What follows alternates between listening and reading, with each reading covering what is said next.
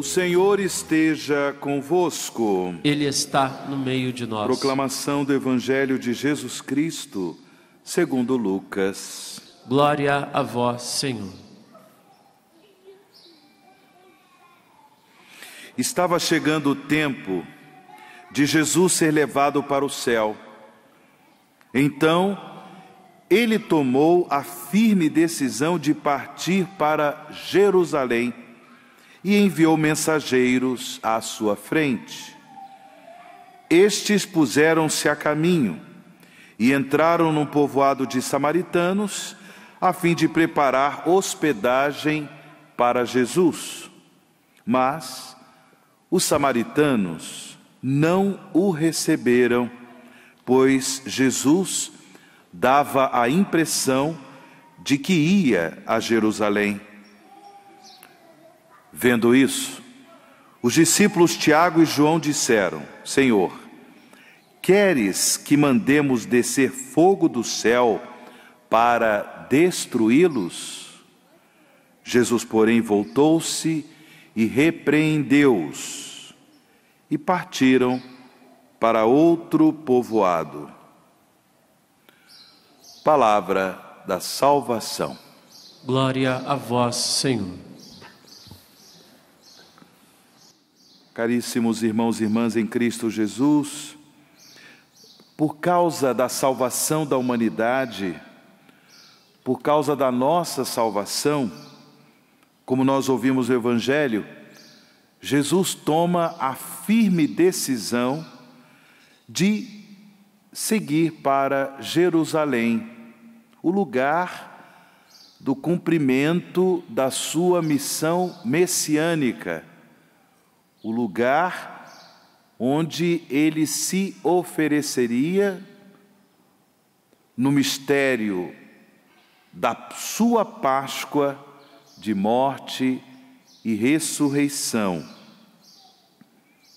Porém, caminhando para Jerusalém, Jesus se depara com a hostilidade de diversos grupos.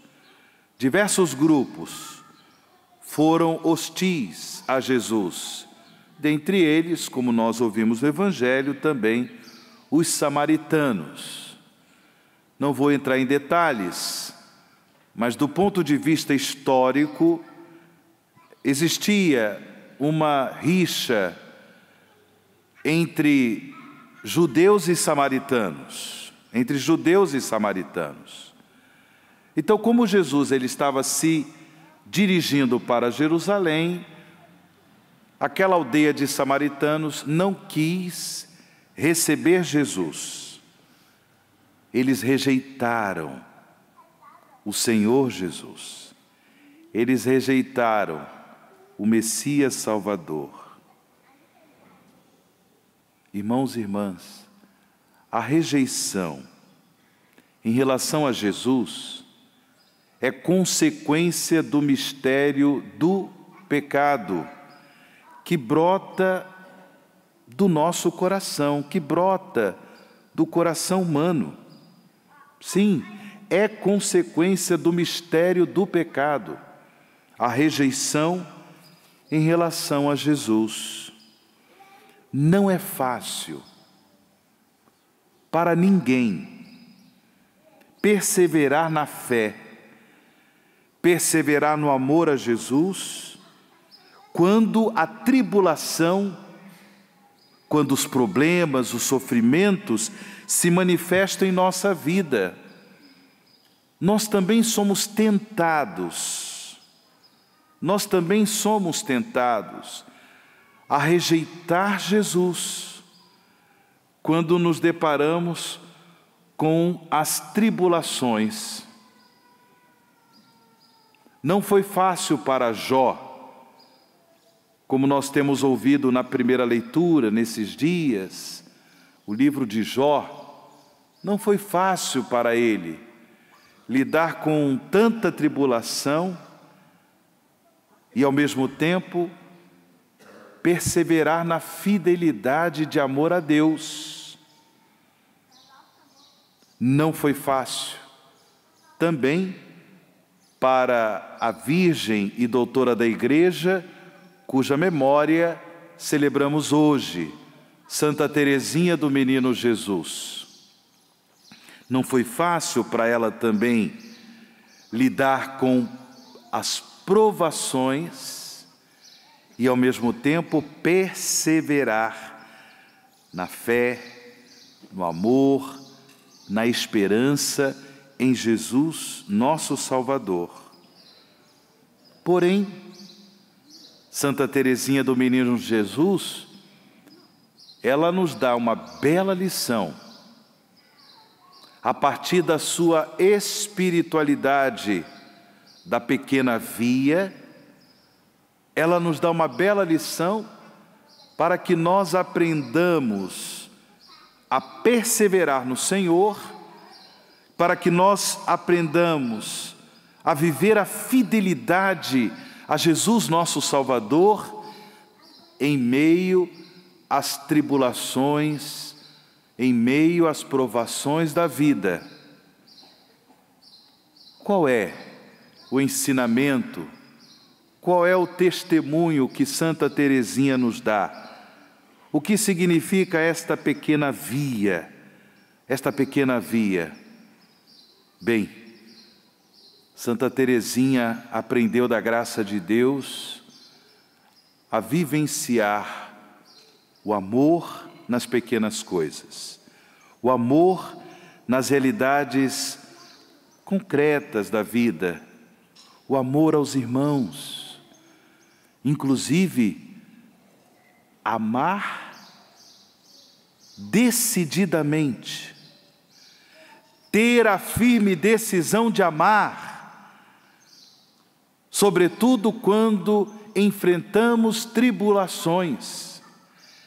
É a resposta que nós, filhos e filhas de Deus, é a resposta que nós, discípulos e discípulas de Jesus, somos convidados a dar em meio às tribulações. Temos, como eu disse, nas tribulações, a tentação da revolta, a tentação de rejeitar o amor de Deus, de rejeitar o amor de Jesus, de não querer seguir os passos do Senhor. Temos todas essas tentações, também de nos vingar. Porém, Santa Teresinha e ela se tornou doutora da igreja porque aprendeu da graça de Deus a viver a sua vocação na perspectiva do amor, na perspectiva do amor. Na sua autobiografia, ela mesma escreve que percebendo a igreja como o corpo místico de Cristo, ela se deparava com os membros do corpo de Cristo, os apóstolos, os evangelistas, os missionários, os mártires e tantos santos e santas de Deus que apresentam para a igreja um testemunho forte, um testemunho bonito de fidelidade, de perseverança no amor a Deus, no amor à igreja, no amor aos irmãos. E ela se perguntava: qual era o lugar dela na igreja? Qual era o lugar dela no corpo místico de Cristo? Foi quando ela, inspirada por Deus, intuiu: neste corpo há um coração. Eureka, já descobri, o meu lugar é ali, neste coração da igreja, e ali, neste lugar, eu serei o amor. Não apenas vou viver o amor, mas eu serei o amor. Que bela a inspiração de Santa Teresinha, a descoberta da sua vocação a minha vocação é o amor. Que assim seja nas nossas vidas, irmãos e irmãs. Aprendamos com Santa Teresinha do Menino Jesus a viver o amor, custe o que custar. Assim como Jesus tomou a firme decisão de seguir para Jerusalém e ali cumprir a sua missão messiânica, que também nós aprendamos a viver no nosso dia a dia a firme decisão de amar, custe o que custar, dar respostas de amor em meio às tribulações que enfrentamos. E assim, certamente, Deus nos dará a força de suportar as tribulações, Deus nos dará a força de nós também completarmos na nossa carne aquilo que faltou às tribulações de Cristo, como fizeram os santos e santas de Deus. Obrigado, Senhor por celebrarmos nesse dia a memória de Santa Teresinha do Menino Jesus. E aprendermos com ela, Senhor, a amar sobre todas as coisas. Aprendemos com ela, Senhor, que a nossa vocação é o amor. E, sobretudo, nas tribulações que enfrentamos, Senhor, dai-nos a graça de amar. Dai-nos a graça de sermos teimosos no amor para a honra e glória do vosso nome, Senhor. Amém.